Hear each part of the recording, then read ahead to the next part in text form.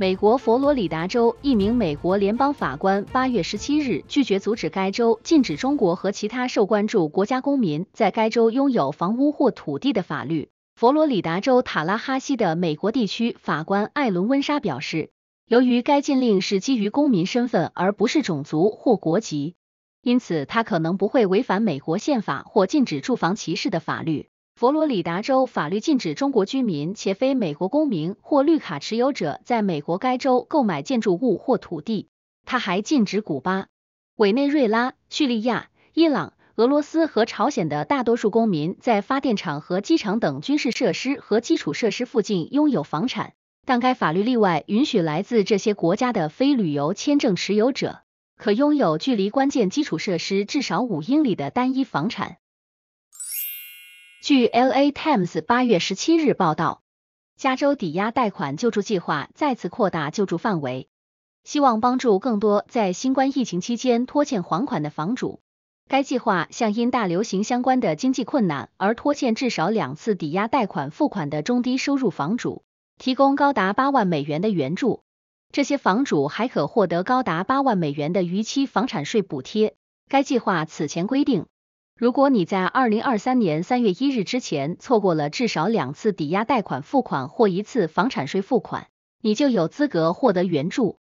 如今，由于十亿美元的救助金还没有用完，因此那些在八月一日前至少拖欠了两笔抵押贷款或一笔房产税的人，现在可以获得救助。根据联邦法律，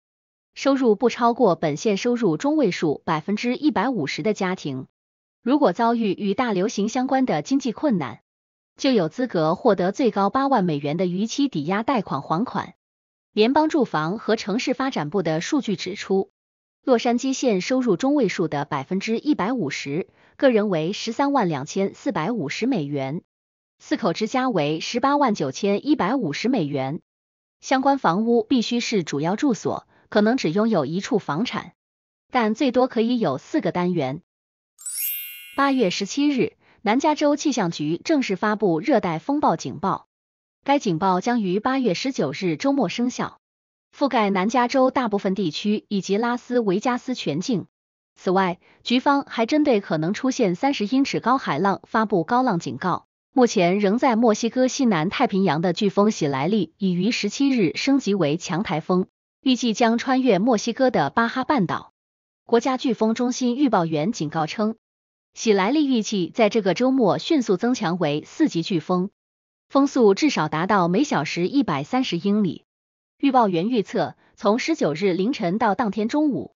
飓风将向巴哈半岛猛冲，预计二十日中午十二时之后登陆。随后，飓风将横越下加州，向北移动至南加州。喜来利的影响将在二十一日至二十二日继续影响该地区。中国房地产开发商恒大集团八月十七日在纽约申请破产保护，寻求保护其美国资产，并努力达成债务重组协议。恒大向曼哈顿破产法院提交的公告显示，该集团正寻求法院承认其在香港、开曼群岛及英属维京群岛进行的重整协商。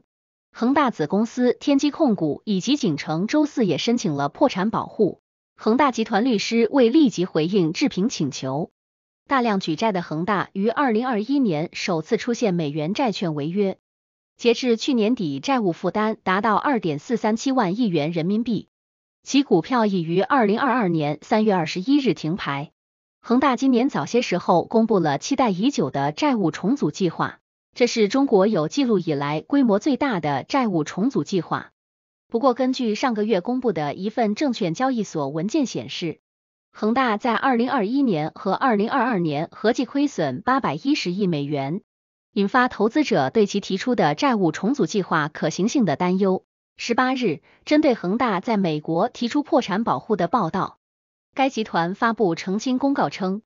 公司目前正在正常按照计划推进境外债务重组，不涉及破产申请。